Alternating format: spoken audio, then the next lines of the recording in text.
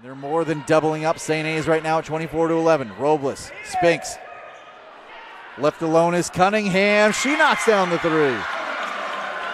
Turco looking to get going.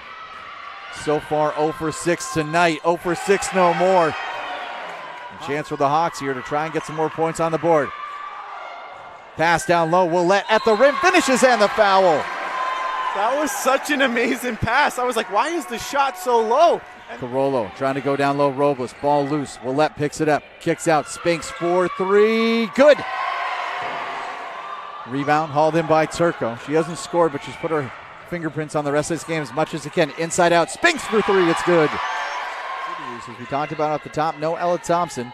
Second team in the Northeast-10 a season ago, one of four players on this Bentley roster as Robles turns around and knocks down the short turnaround.